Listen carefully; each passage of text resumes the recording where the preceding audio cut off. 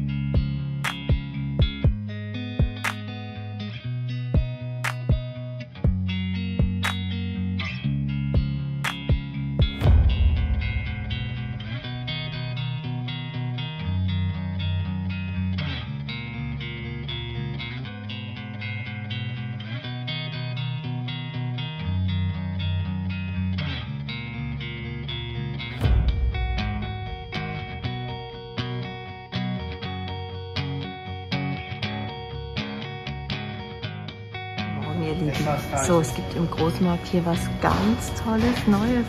Und zwar, es gibt hier so wunderschöne Sonnenschirme und hier ist ein heißer Rand drauf.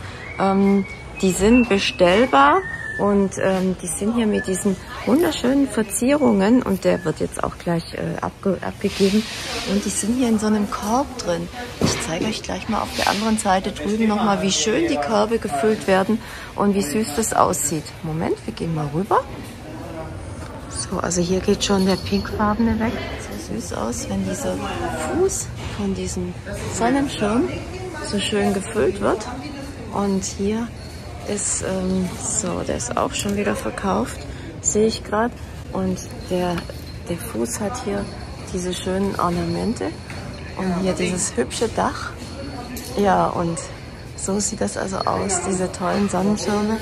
So, so sieht er also von unten aus. Und die eine Variante ist, den Ständer mit diesen grünen mit diesen grünen Mooskugeln zu füllen. Und die andere Variante ist zum Beispiel, genau, hier ist der heiße Kampf mit diesen hübschen Schnecken. Das ist jetzt echt was Besonderes und very special. Aber ich musste euch das unbedingt zeigen,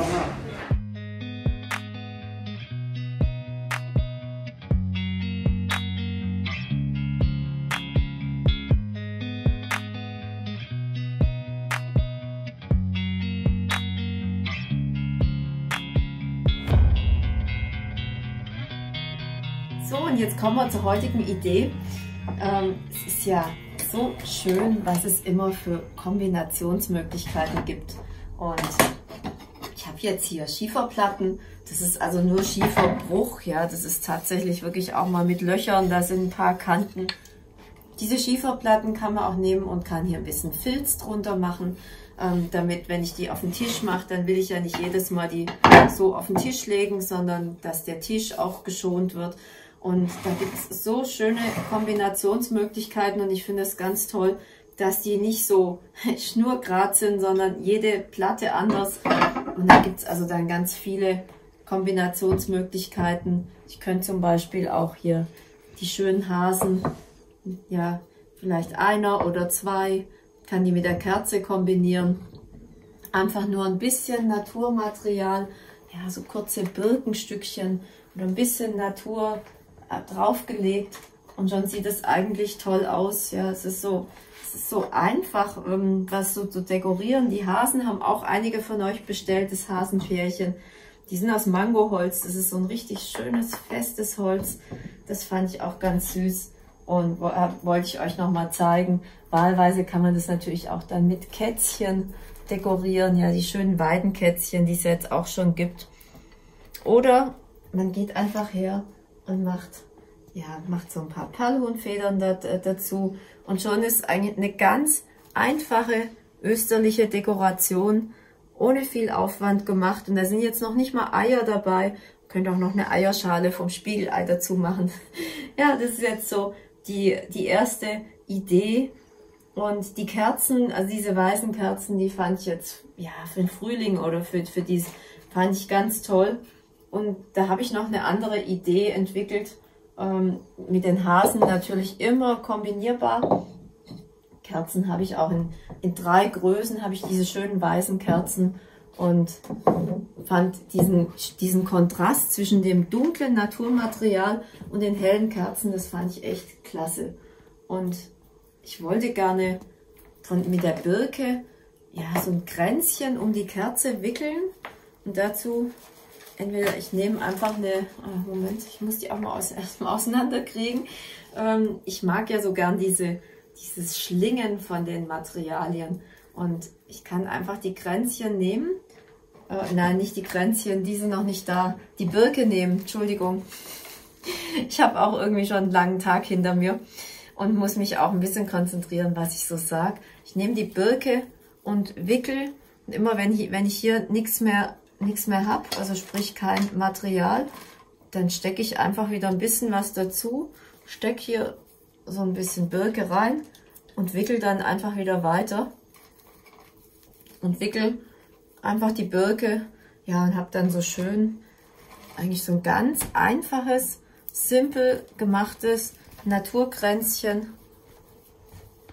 Und also die, die Birke, die ich im Moment jetzt auch habe, die ist die ist phänomenal, weil ich hatte noch nie, noch nie so ein Material, das es so schön, so spielerisch fällt. Die waren immer mal schön, die waren immer mal weich und immer auch gebogen, ähm, aber so, so spielerisch und die sich dann so schön gelegt haben, die hatte ich eigentlich noch nicht und deswegen bin ich im Moment völligst im Birkenfieber. Ich, ach, ich liebe es, herrlich.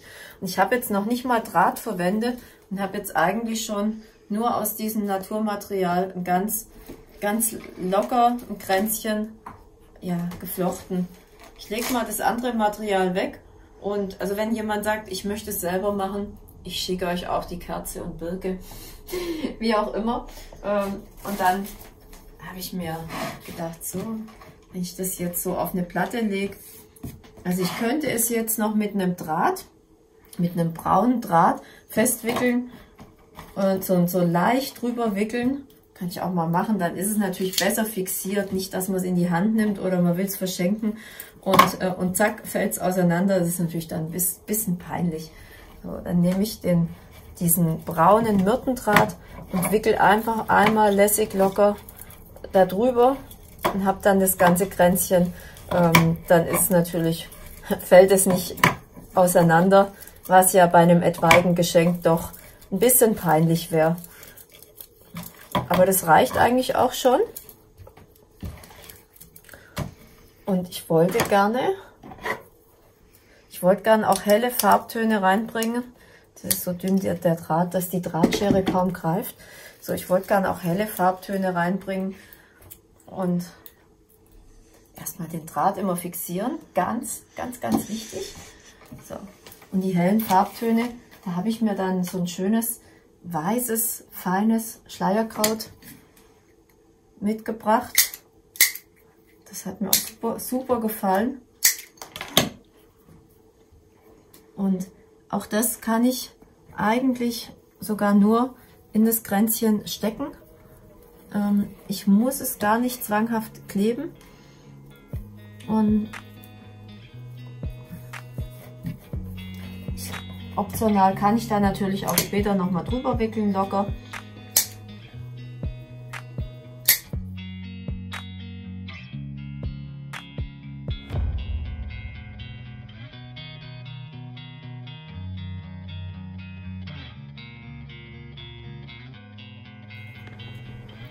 Und dann gibt es natürlich noch ein paar Federchen. Und die Federn, die stecke ich jetzt auch extra so rein, dass die so mitlaufen mit der Form des Kranzes. Also ich würde jetzt nicht eins so, eins so, sondern ich finde es eigentlich schon schön, wenn die, wenn die Schwungform oder die gestalterische Form des Kranzes, wenn die auch erhalten bleibt und die Federchen einfach so mit in der, ich sage jetzt einfach mal so lapidar, in der Fahrtrichtung, nein, also in der Schwungform, genau, wenn die so schön mitlaufen.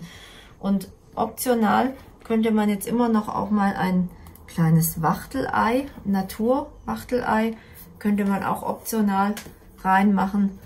Und ich finde, es ist dann egal, welche Kerzengröße, und das ist jetzt eine Kerze, die richtig lang brennt, also egal, welche Kerzengröße ich dann da reinmache, ähm, das, ist, das ist eine richtig schöne Deko. Ich würde natürlich, je, je größer die Platte, die Schieferplatte, desto, ja, desto größer ist natürlich schon schön, desto größer die Platte. Und man kann sich auch optional eine kleine, eine kleine Landschaft mit den Kerzen gestalten, indem man einfach, hier ist auch noch ein Kränzchen mit beiden Kätzchen. So, und es müssen jetzt gar nicht alle auf den Platten stehen. Man kann auch noch das letzte Kränzchen hier in so mit Kätzchen. Oder ich schlinge mir einfach nochmal mit, mit dem mit dem Schleierkraut ein kleines Kränzchen dazu. Also auch das ähm, kann ich mir sehr gut vorstellen. Und so, ich lege das jetzt einfach mal dazu, weil das wird jetzt im Video ein bisschen zu lang dauern. Und so dass dann eben ein, ein drittes Arrangement. Ich finde eine ungleiche Anzahl an, an Elementen finde ich immer sehr, sehr schön.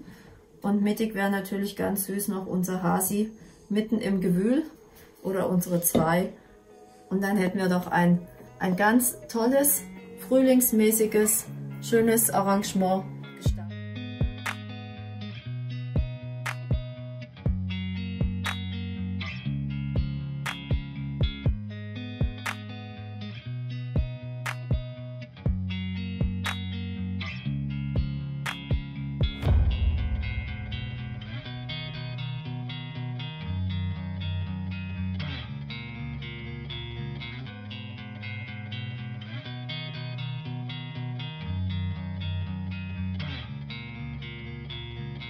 Genau, das wären so die drei Größen.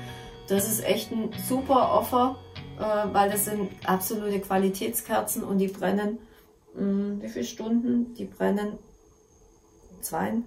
Ich genau, mein, ähm, auch, auch ich habe oft eine Lesebrille, aber wenn ich das jetzt richtig sehe, die brennt 62 Stunden, was ja echt wahnsinnig lang ist. Und die große Kerze, die brennt sogar 125 Stunden. Also Wahnsinn. Und auch zu den Kerzen, so ein kleines Stichwort Kerzenpflege. Die Kerzen sollten nicht unter einer Stunde brennen, also richtig schön lange anbrennen. Und äh, dann ähm, ist ganz gut, wenn das Wachs weich ist. Ich schiebe das manchmal, wenn es weich ist, auch ein bisschen zusammen. Also sie sollten immer bis außen durchbrennen und dann, äh, dann brennen die nicht hohl, ja, weil das, dass die Wand sozusagen stehen bleibt. Ja, und ansonsten bin ich total gespannt, wie ihr dieses kleine Kerzen, diese kleine Kerzenlandschaft findet, dass dieses schöne Arrangement. Ich schreibe euch nochmal die ganzen äh, ja, Daten zur Bestellung rein und freue mich auf eure Kommentare. Ich wünsche euch ja frohes Nachmachen, freue mich auf eure Bestellungen, freue mich übers Zuschauen und überhaupt, dass ihr dabei seid. Bis bald, alles Liebe und Gute von eurer Margit. Tschüss!